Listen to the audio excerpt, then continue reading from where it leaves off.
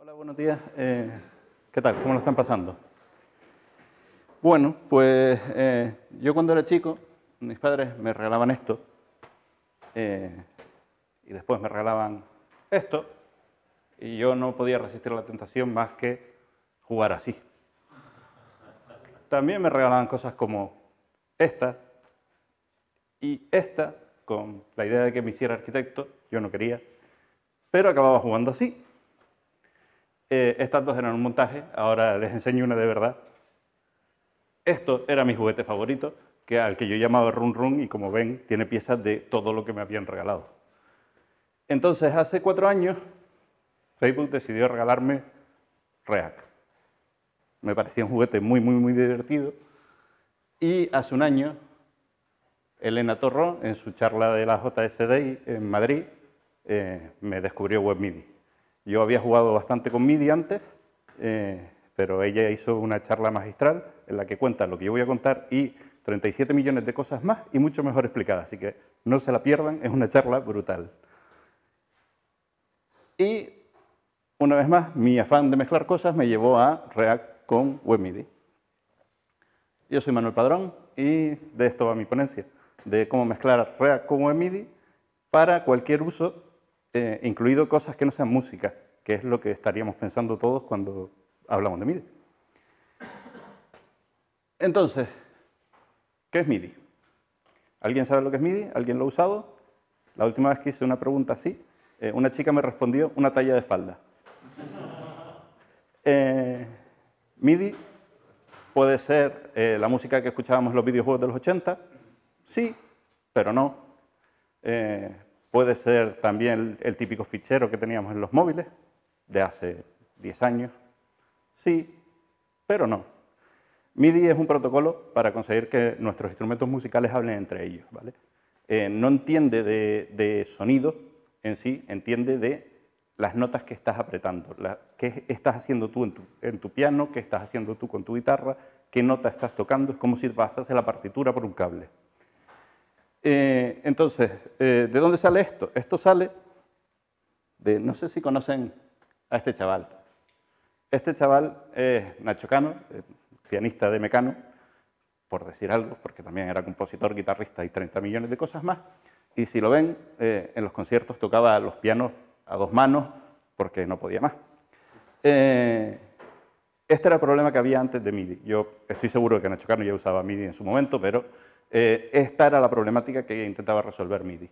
Eh, tú tenías 37 sintetizadores de diferentes marcas y no había manera de conectarlos entre ellos, y si tú querías cambiar de un sonido a otro, pues tenías que saltar de este sintetizador al otro, cambiar el preset, eh, ahora quiero que suene como un no sé qué, espera que la batería del otro funciona mejor y te pasabas todo el día saltando de un cacharro a otro para intentar hacer la música que debería de ser tu objetivo principal.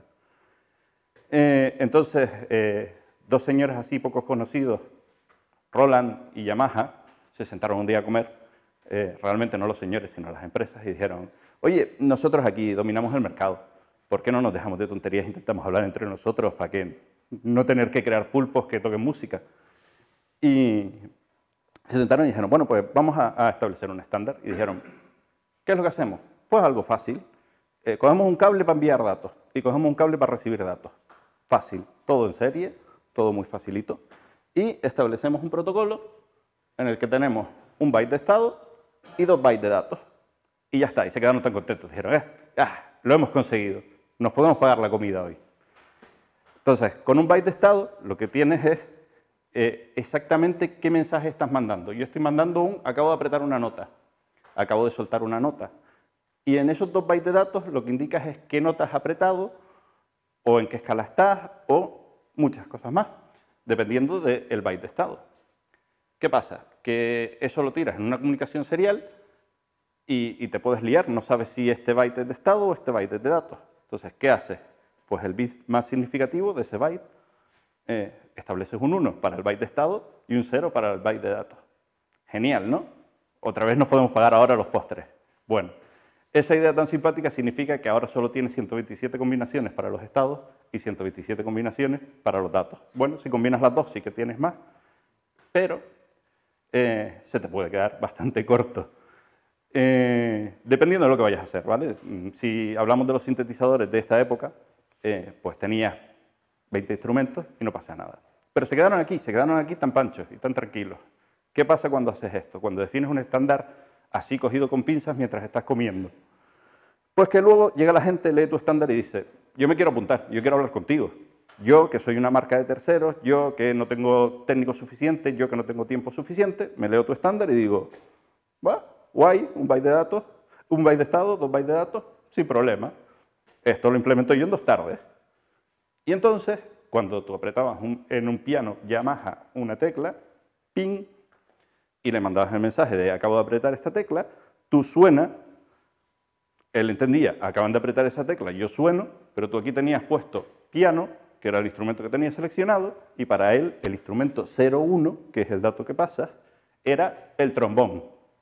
Y entonces tú llegabas a tu piano y decías, voy a tocar mi composición perfecta, empezabas a tocar y de repente decías, ¿por qué mi batería suena bajo? ¿Por qué mi bajo suena piano? ¿Y qué demonios es esos aplausos que estoy oyendo de fondo?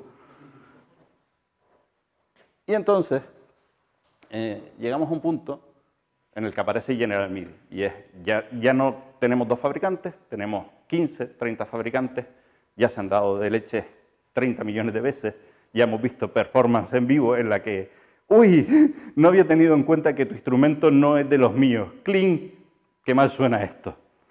Eh, y deciden ponerse de acuerdo. Entonces, General MIDI, ¿qué hace? Extiende ese estándar y dice, a ver, señores, sentémonos, establezcamos un par de cositas al menos, porque si no, esto no hay Dios que lo maneje. Y deciden hacer una lista de instrumentos. Entonces sacan un listado de el instrumento 1 es un piano de gran salón, el instrumento 2 es un piano de no sé qué, el instrumento 3 es un piano de no sé cuánto, y llegan a hacer cosas tan locas, tan locas, tan locas, como que los últimos instrumentos son aplausos, helicópteros, risas, ametralladoras. Y es como que, claro, eh, el estándar estaba pensado no solo para tocar en directo, no solo para interactuar con más instrumentos musicales, sino también para integrarse con películas. Entonces era muy guay tener el sonido del helicóptero. No, suena muy agudo porque está muy lejos. Espérate, que bajo una nota, claca. El sonido del helicóptero cerca. Eh, y con eso establecen lo que es General MIDI, ¿vale? Hasta aquí mi, mini intro de MIDI. Eh, ahora viene mi mini intro de React que va a ser muy mini solo para poder establecer un contexto y explicar lo que, lo que quiero enseñarles de verdad, que son las demos chorras que tengo al final. Eh, ¿Por qué digo mini? Porque Marta tiene luego una charla espectacular en la que va a dar una charla completa de cómo va React. Entonces no me voy a extender demasiado, sino simplemente contarles un poquito para poder seguir. ¿Qué es React?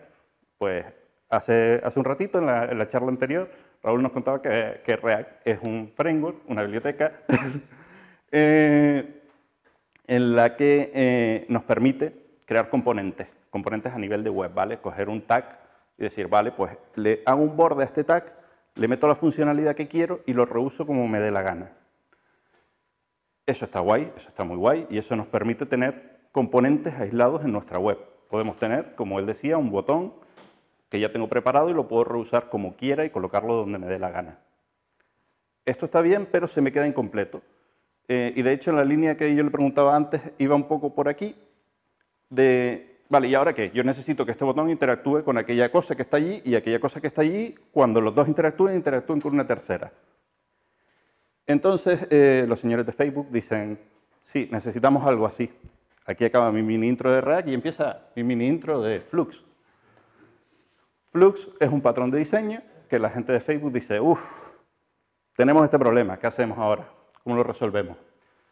Eh, bueno, pues establezcamos un mecanismo para comunicar entre nuestros componentes. ¿Y qué es lo que hacemos? Bueno, mm, le decimos al componente que levante una señal, que diga, ¡eh! Me acaban de pisar. Y establecemos un dispatcher, que no es más que un elemento que está escuchando a todo el mundo y que dice, le acaban de pisar. Y además permitimos que si tú estás interesado en que te hayan pisado o no, te suscribas. Entonces tú te suscribes yo digo, eh, me acaban de pisar, él lo oye y dice, eh, que lo acaban de pisar, que te aviso, lo acaban de pisar, grita. Y establecen una forma de comunicar un componente con otro. Y con esto acaba mi mini intro de Flux. ¿Qué pasa? Que llegas a este punto y te dicen, MIDI. MIDI va por eventos, lo que decía, yo piso una tecla, eso manda un dato que llega al otro, al otro instrumento. Eh, y React y Flux va por eventos. Yo levanto la mano, me están pisando. Mm. Y en MIDI establece también canales para poder tener varios instrumentos sonando al mismo tiempo, pero de forma aislada, que no se te mezclen una partitura con otra partitura. Entonces tengo mi piano sonando por el canal 1 y mi batería sonando por el canal 10 y mi saxo sonando por el canal 4. En el fondo es algo parecido a lo que tenemos en React con los componentes. Tenemos eh, elementos que interactúan entre ellos, pero que están separados y que no se mezclan, que su funcionalidad está aislada, pero que tienen una forma de hablar entre ellos.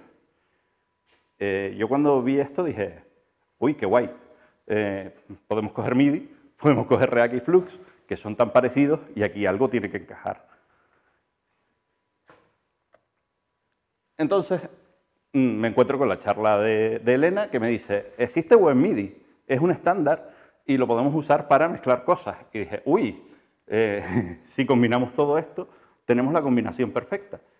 Entonces, esto es un pequeño componente en React. ¿Y qué es lo que, lo que nos interesa de esto?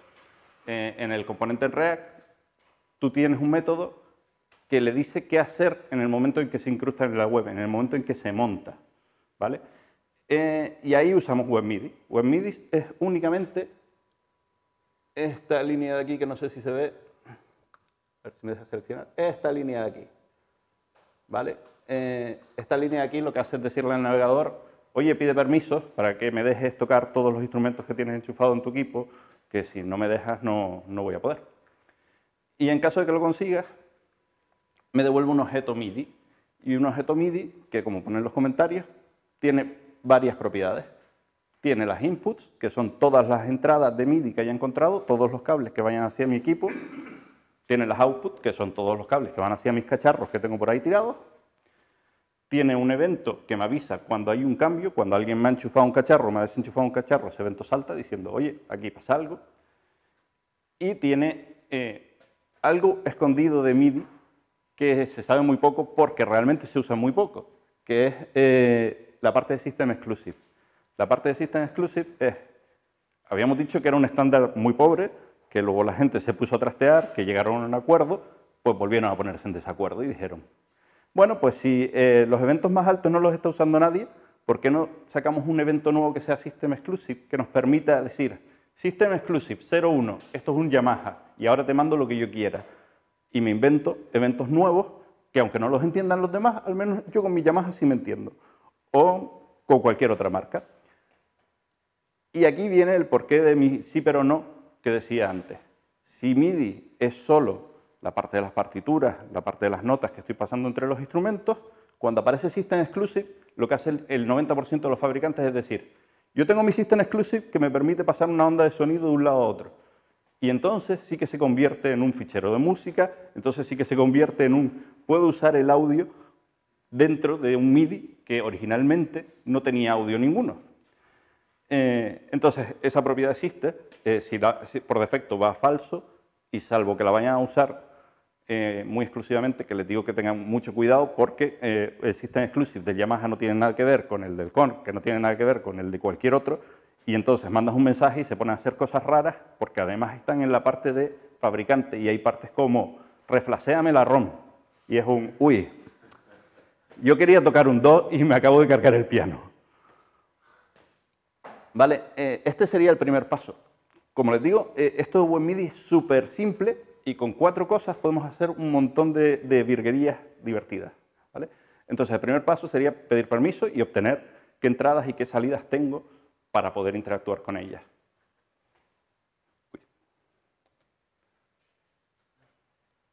Ah, que está editando.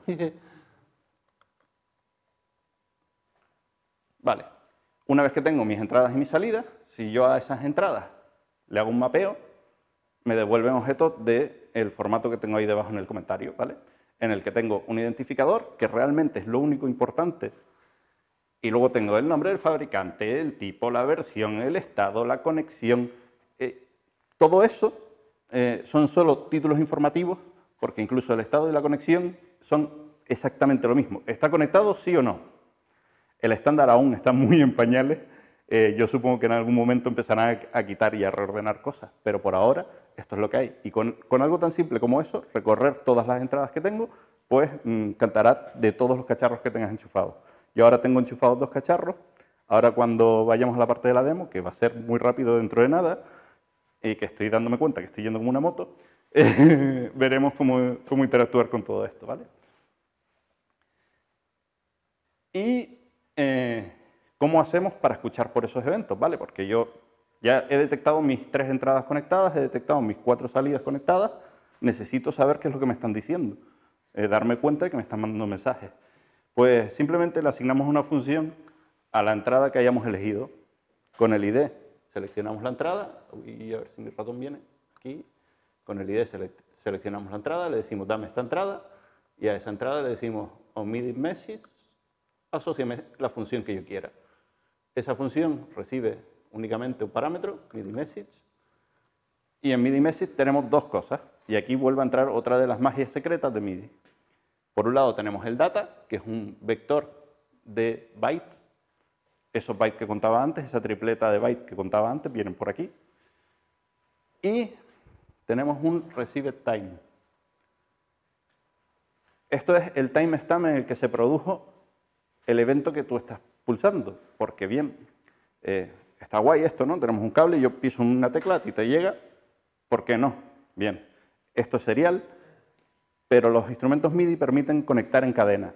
Entonces yo podría conectar seis instrumentos en cadena y tengo un pianista pulpo como el de Mecano que se pone a apretar 37 teclas a la vez en cada uno de los pianos y entonces eso genera un pequeño delay en la señal. Y puede pasar que empiece a retrasar una nota un poquito y si retrasa una nota un poquito, yo no lo noto, que no soy músico, pero si, si sigues así, llega un momento en que el do que tenía que sonar ahora, igual suena cuatro compases más allá, y entonces sí que generas un problema. Tú tocas, pasa un segundo y se oye la nota. Eh, entonces, decidieron meter un timestamp para sincronizar todos los eventos, para que tú sepas cuándo ha pasado y que si ha pasado cuatro segundos desde que tocó la nota del do, pues no la toques, va a sonar mejor, directamente sáltatela. Además, como decía que lo estaban usando para sincronizar con películas y para poder meter eh, los sonidos de los efectos especiales en las pelis o sincronizar la música, eh, en los metrajes de las películas hay un formato de tiempo que lo que permite es decir hora, minuto, segundo y frame en el que estás. Eh, ese formato de tiempo tiene una forma de convertirse directamente al tiempo MIDI que hay en los instrumentos para poder sincronizar yo quiero que mi do suene en el frame 3 de la peli y poder hacer que todo vaya coordinado y que si yo tengo mi sintetizador puesto encima de la mesa y alguien está reproduciendo una peli, suene la canción exactamente a la vez que como está pasando la peli en la, en la pantalla. Y si ya sabemos recibir mensajes, ahora lo único que nos queda es enviarle mensajes al cacharro. Pues lo mismo, vuelve a ser muy simple obtenemos la salida y le enviamos un vector de datos y el timestamp que tenemos. Pero ¿qué pasa? Que como decía, el estándar está todavía un poco verde y el timestamp que tienes en el recibido no es exactamente igual que el que tienes en el enviado, porque en el enviado ya han decidido cambiarlo, ¿vale? Eh, entonces, ¿qué están usando ahora? Están usando el, timestamp de alta resolución del DOM. Eh, es mucho mejor pero lo que se basa el, timestamp de alta resolución del DOM es el tiempo que tú llevas en la página. Por lo tanto, tienes un cacharro que te dice, a mí me tocaron esta nota hace tres segundos y tú envías un, a mí me tocaron la nota hace un segundo porque acaba de cargar la página. Entonces, por ahora está la cosa un poco indefinida, yo no les recomiendo usar timestamp por ahora, obvienlo, porque estoy casi seguro que todo va a acabar en este tipo de timestamp para saber en base a cuando cargó la web y no en base a cuando alguien tocó o lo que estaba haciendo el otro. Tras todo este rollo que les acabo de contar, bueno, MIDI, guay, ¿no? Para tocar, para hacer música, para interactuar. ¿Y si lo usamos para otra cosa? Porque al final yo tengo un cacharro enchufado a mi PC. Y, cacharros que son botones, que son lucecitas, que los puedo mover, que puedo interactuar con ellos. ¿Por qué no los usamos para otra cosa? Eh, es una forma muy sencilla de hacer que algo físico interactúe con mi web. Y entonces nos vamos a la party esto demo time, la party time fue anoche. Eh, y tenemos ver si mi equipo me deja, una pequeña demo con cositas que he ido haciendo para jugar con esto. ¿vale? Entonces, todo el rollo que les contaba de MIDI, de mensajes para un lado, mensajes para el otro, tripletas, bytes y no sé qué, eh, cuando yo estaba tratando con esto dije, espera, espera, me voy a volver loco, no sé lo que está pasando, mis cacharros se ponen a enviar mensajes y yo no me entero de nada. Y me hice una aplicación en la que, con lo que les decía, me saca todos los cacharros que tengo pinchados, que son estos cacharros que tengo en la mesa, ahora los levantaré, y me permite seleccionar una, seleccionar una entrada, seleccionar una salida, enviar un mensaje en caso de que quiera enviar un mensaje, o si cojo una entrada en concreto, por ejemplo, esta de aquí, esta de aquí es este cacharrito, este cacharrito como verán se parece mucho a una mesa de mezcla, que lo que tiene son palanquitas y ruedas, y si yo muevo cualquiera de ellos, se me pone a enviarme mensajes ahí diciéndome 176, 15, 176, 15, 176, 15, con un valor al final. El valor al final es lo que les decía, de 0 a 127, que me indica en qué posición está. El 15 me está diciendo qué canal es, porque este canal, aunque aquí pone un 2, está configurado como canal 15. Y el 176 significa un, eh, presionar una nota. Eh, pero si está girando una rueda, ya. Pero es que el fabricante lo ha hecho así. ¿vale? Eh, entonces, cada uno manda el mensaje que le interesa en cada cacharro y, y puedes hacer cosas así. Y además aquí tenemos unas flechitas para atrás, unas flechitas para adelante, un stop, un play, un rec. Uy, esto lo podríamos usar para muchas cosas. Lo podríamos usar para... Estoy viendo mis vídeos en YouTube, le doy al play, le doy al stop, le doy para adelante, le doy para atrás. ¿Por qué no usarlos en, aspectos que no sean musicales? Y entonces seguí jugando. Y vamos a mi demo número uno.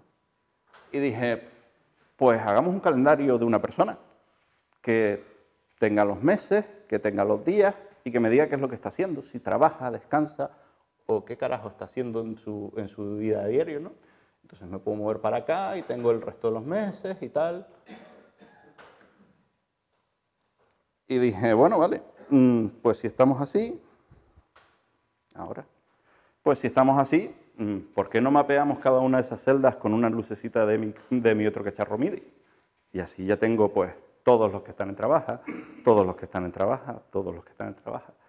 Y si tengo esto, y yo soy el tío de recursos humanos, ¿por qué me tengo que coger el ratón, ir a la web, picar no sé qué, cambiar uno, cambiar el otro, no sé?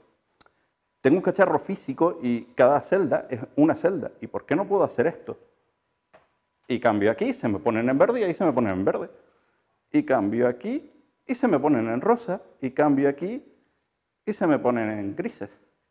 Eh, es una forma de interactuar diferente, de darnos una forma de trabajar diferente. Y como digo, con MIDI eh, tenemos un montón de variedad de cacharritos. Con estos dos cacharritos que les he enseñado tenemos ruedas, tenemos palancas, tenemos slider, tenemos lucecitas, tenemos botones. Nos da un montón de juego para hacer interfaces mucho más naturales hacia nuestros usuarios. Y seguir jugando. Y entonces dije, pues sigamos jugando, a ver qué, más podemos hacer aquí, ¿no? Y entonces, por esa época, cuando estaba tratando con esto, apareció Grid y revolucionó el mundo de las interfaces por enésima vez. Y dije, uy, qué guay esto de Grid. Y me hice una celda con Grid y dije, ¿podré controlarlo desde aquí? Y entonces dije, pues divido y me voy haciendo el grid sobre la marcha con botoncitos. Y una vez que tengo el grid hecho, ya que he conseguido hacer eso y antes conseguía pintar de colorines, ¿por qué no hago así y elijo el color que me dé la gana? Esto envía un mensaje MIDI a mi cacharro y me enciende la parte proporcional de mi grid. Y si cojo otro y le pongo otro color, tengo mi grid. ¿Qué estoy haciendo? Eh, la parte que a mí me gusta de esto es que ahora estoy usando React y toda la funcionalidad de React de decidir si pinta o no pinta o si interactúa o no interactúa directamente con un cacharro físico. O sea, estoy usando React y todas sus bondades de tengo que enviar un mensaje solo cuando me hace falta, solo cuando he cambiado algo contra un cacharro físico, contra una botonera, contra unas luces, contra algo así. Y podría seguir dividiendo, y aquí hay un pequeño bug que si no es potencia de 2 hace que las cosas se vean raras, pero cuando vuelvo a hacer potencia de 2 vuelvo a tener lo que tengo en la pantalla, y puedo volver otra vez a ponerme a jugar con los colorines. Uy.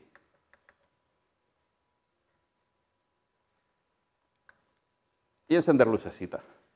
Y entonces podría tener pues una pantallita en la que dibujo mm, desde el ordenador, hago interactuar y lo hago dibujar y pongo esto ahí arriba y pongo 7 y me pongo a hacer textos y me pongo a hacer cosas mucho más divertidas. Y en esa línea está la 2. Pues dije, bueno, vamos a jugar con el otro cacharro, a ver qué pasa. Eh, y dije, pues me voy a hacer la interfaz del cacharro en la pantalla. ¿Y por qué no? Y, volvemos a lo mismo. Yo giro aquí y gira, subo y sube. Y si puedo hacer esto, eh, podría hacer muchas más cosas con esto, que no las he hecho, eh, como por ejemplo asignar a estos 127 valores, valores de RGB. Y entonces aquí tengo el rojo, aquí tengo el azul y aquí tengo el verde, y podría estar cambiando los colores de mi web con palanquitas. Y si tengo mi diseño CSS basado en colores, voy al cliente y me dice, pero ese verde no, un poquito más verde. Ese momento en el que quieres matar al cliente, pues si tengo algo así, le digo, venga, vale, pues un poquito más verde, cuanto sube hasta donde tú quieras, o vas hasta donde tú quieras, y cuando ya lo tengas, ya cojo el valor que te gusta.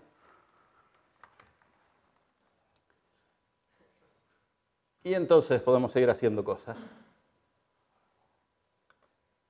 Por ejemplo, este, y vuelve a ser un poco la idea de antes de un, uy, eh, si puedo mapear cacharros, ¿por qué no mapeo cacharros? Mapeemos este cacharro también. Y entonces un poco la idea, la idea que les contaba antes, si yo me vengo por aquí y digo, pues no sé, ahora lo subo porque no puedo hacer las dos cosas a la vez, pico, pico, pico, pico, pico, pico, y pongo esto, y por aquí pongo esto, tin, tin, y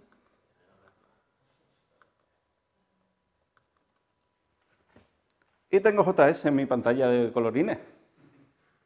¿no? Y si además quito y pongo, me va cambiando de colorines, aunque son ligeramente parecidos, ¿vale? Y puedo hacerme mi programita de dibujo de píxeles en tiempo real, interactuar con mis píxeles físicos. Y ya solo me queda una pequeña demo por demostrarles que para eso eh, quiero dos voluntarios. ¿Alguien se acerca?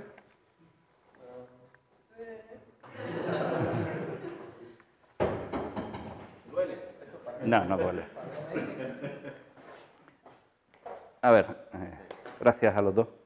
Cojan el cacharro, ¿vale? ¿Los dos? No, con que uno lo coja.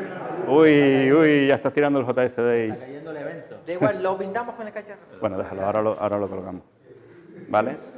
Entonces, yo voy a abrir una aplicación, no les voy a decir cómo se usa y espero que ustedes lleguen a la deducción por sí solos eh, con el cacharro físico, porque creo que es una interfaz muy natural. Sí. Y entonces voy a abrir mi juego de coche. Así que eh, ustedes mismos. ¿Con esto? Con eso. Ah, mira, ya está. Voy a ganar. Y efectivamente, lo que he hecho es mapear eh, la barrita que sube y baja ¿Puedo al acelerador. carretera? No, no, no hay colisiones. No hay colisiones. Eh, con uno eh, mapeo el acelerador y con el otro mapeamos el ángulo. Y de hecho se pueden salir por fuera de la interfaz, ¿eh? pueden jugar con- a correr por fuera. Eh, entonces, ahora tengo un juego para ocho jugadores en un cacharro físico.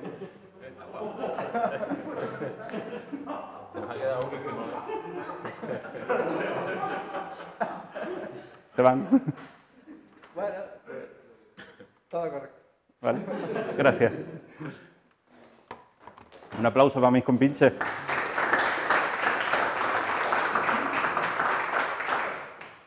Eh, pues eso, me permite tener un jueguito en el que interactúan ocho jugadores con un solo dispositivo. Hagan eso con un teclado, pongan a ocho tíos encima de un teclado a ver si pueden controlar cuatro, ocho coches.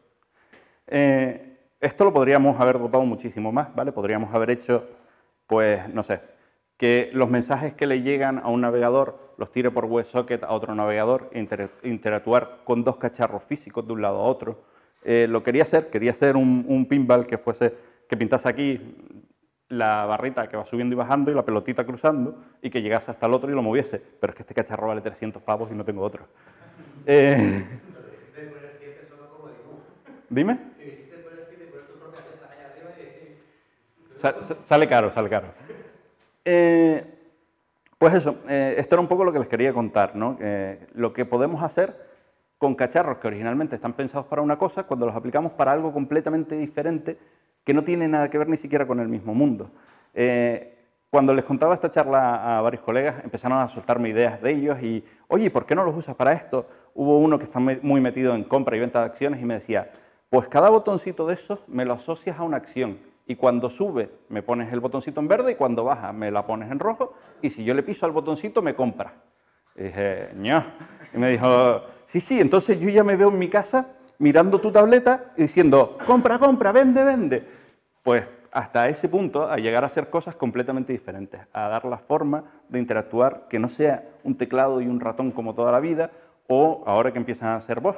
Podríamos tener interfaces mucho más complejas y mucho más divertidas.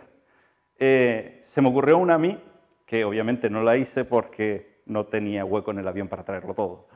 Eh, pero podría coger mi guitarra, que a una guitarra le puedes poner una pastilla MIDI y engancharla aquí.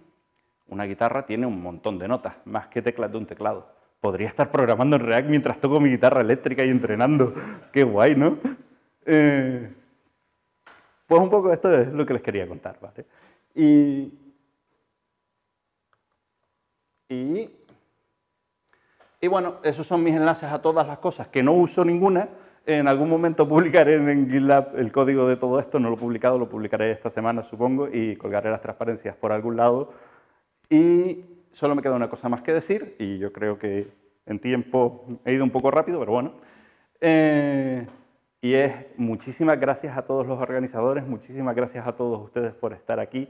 El evento ha sido genial, me lo he pasado pipa. Y, y eso, que gracias por darme la oportunidad de contarles mis locuras.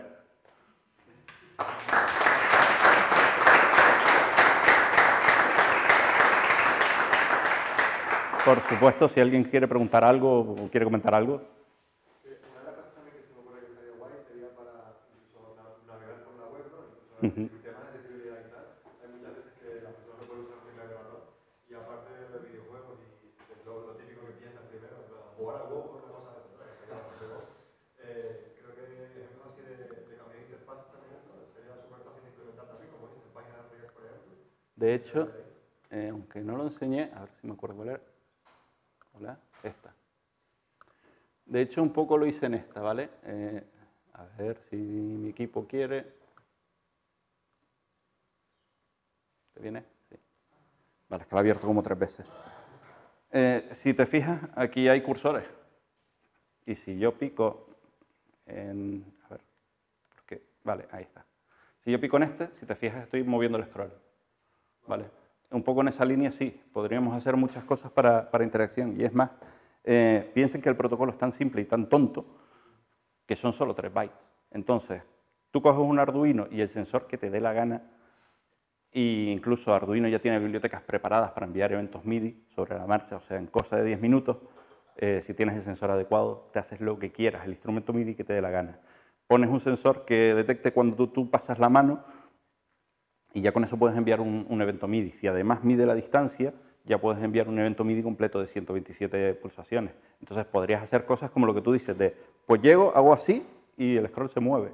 Ya no tengo que usar el teclado, el ratón, no tengo que usar nada.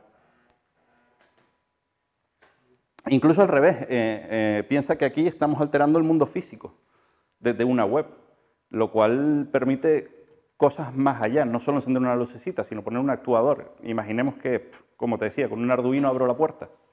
¿Vale? Si eso lo gancho en un evento MIDI desde el otro lado del mundo con una web, le digo, abre la puerta, y eso hace clac y abre la puerta. ¿Alguno más? Me parece muy interesante ese planteamiento, inclusive para hacerlo, para utilizar o hacer aplicaciones, por ejemplo, para personas con discapacidad, sobre todo intelectual. Porque normalmente nosotros vemos, y, y me voy a, qué quizá una charla que hubo ayer. Precisamente nosotros vemos el mundo desde nuestro punto de vista, entre comillas normal. Claro, Pero claro, y para todos aquellos que no tienen la capacidad o no tienen la, digamos, tienen impedimentos para poderlo aprovechar. Por ejemplo, eh, navegar sencillamente, quieren ver YouTube y directamente tengan un botón donde les salga YouTube o directamente aprender matemáticas. Supongamos, mm, aplicaciones para niños de 3, 4 años, para aprender los colores. Es mucho más sencillo utilizar un método de estos que utilizar claro, totalmente. Incluso mm, interacciones mucho más complejas. Quiero decir, algo, algo súper simple. Cuando tú coges a un niño chico y le dices, eh, azul y amarillo es verde, y eh, lo pones como un axioma, él se lo cree y dice, bueno, pues será porque tú me lo dices y porque me lo tengo que aprender. Pero sin embargo, le das algo así que te pinte todos los cuadraditos de azul y todos los cuadraditos de amarillo. Que los mezcle él, que él con las barritas pueda decir, pues ahora le pongo más de este o más de aquel. Anda, mira, esto va a ser un verde más oscuro, un verde más claro. Ya no es un, me lo creo porque me lo dijo el profesor y es lo que, lo que me tengo que aprender o si no suspendo. Es un, ah, es que yo estuve jugando y es que lo vi y es que interactué con él físicamente, ni siquiera en una web. No es, puse una web y el programita me lo engañó. No, no, no. Yo estuve interactuando físicamente. Es como si cogiese la tinta y estuviese pintando. Sí, sí, sí, sí. ¿Alguno más? ¿Algo?